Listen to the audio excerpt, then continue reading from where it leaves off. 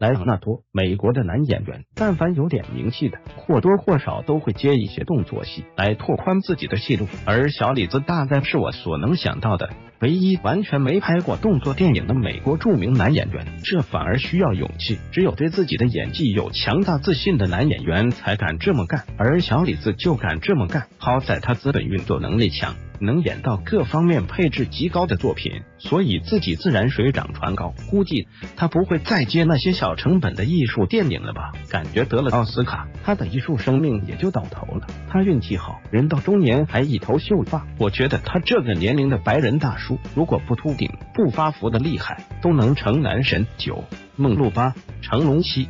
赫本，她的先天条件很好，但是还不够好。的确是大美女，但是不是电影脸美女？所谓电影脸，就是那种自带深邃感加成的脸。他们就算是面无表情，也仿佛在述说千言万语。代表人物是家宝，赫本本身的气质很好，但是因为童年的营养不良，导致脸相看着太薄，所以经常演小姑娘的角色。无论《乱世佳人》《欲望号街车》《魂断蓝桥》这三部剧本，都能提供给演员演技很大的发挥空间。角色性格纠结，内心挣扎，人物性格变化大，给演员以演绎的空间。而赫本的作品，因为个人形象打造等原因，都是往高贵、美丽、清纯等方向走。